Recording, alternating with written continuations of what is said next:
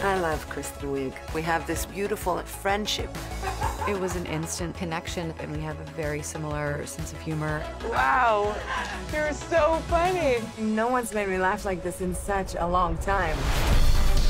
Gal is a great scene partner and friend, but at the same time, we can immediately go into like those scenes where we have that sort of super villain hero rivalry. Gal and Kristen make this awesome duo. That was pretty good. It's great to see that love and friendship blossom. It just filled me with joy. Gal and I love each other. She's brilliant.